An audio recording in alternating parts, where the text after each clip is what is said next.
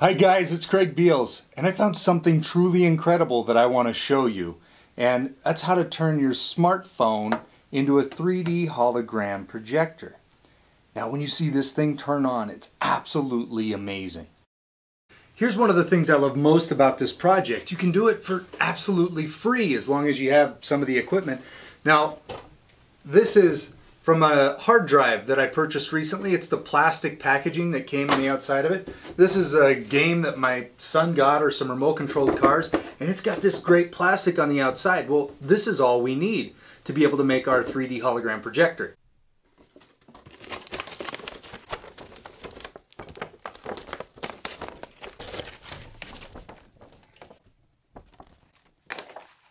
Then all you have to do is trace.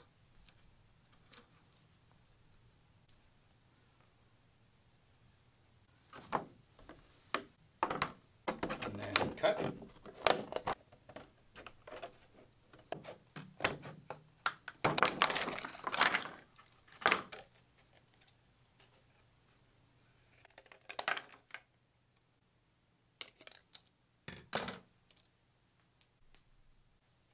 Then fold.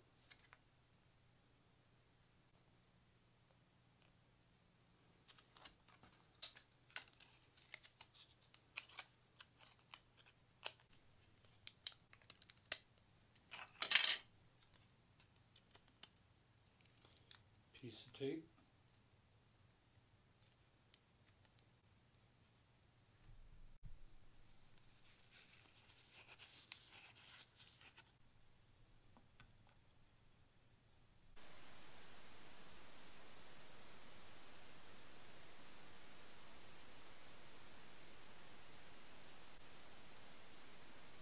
The first question I always get is, wow, how does that work?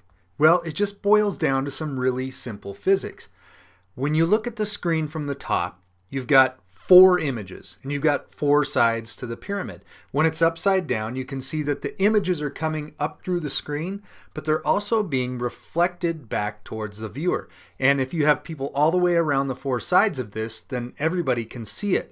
And the reason it looks like it's hovering there in the middle is that we can still see through the plastic. So our eye sort of is playing a trick on us. We're seeing the reflected image on the side of the plastic, but we're also seeing through the image to the other side. Now, just some quick terms about what's actually causing this to happen. I've drawn on here that light is beaming its way up from the screen and it's touching the plastic. It's also going through the plastic and that's because the plastic exhibits the properties of transparency. It's transparent. We can see through it. Now it's only partially transparent because obviously some of that light is coming back towards us. So we can see some of the light is headed up through the plastic and, and going off into space.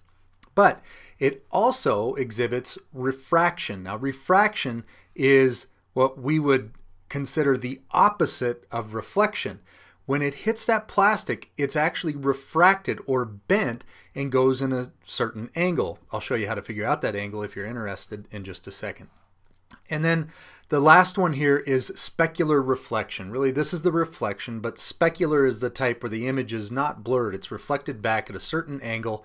And you can see from our images here, now if you were off to that one side looking in, um, you would see this happening at a roughly a 90 degree angle. We'd have to measure it to be sure.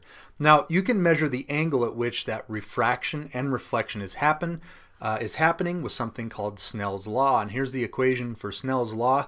And just mainly what I want you to remember instead of all of the complex equations for Snell's law is that this is actually very simple physics, but it's absolutely fascinating. You've got some cheap plastic that we recycled from my son's toy packaging. We're setting it on top of a phone. The light is beaming up. Some of it is passing through there, but the rest is passing back towards our eye. And to me, this is the one of the things I love about science is you can really dive into the explanation of you if you want, or you can just appreciate it for what it's worth. So, keep on learning.